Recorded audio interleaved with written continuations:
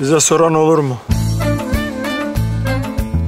Benim de bir fikrim var diyorsan Tarım Orman Şurası gov.tr adresine gir fikrini yaz. Bir fikrim var hashtag ile sosyal medyada paylaş. Tarım Orman Şurası'nda senin fikrinle geleceğimizi konuşalım.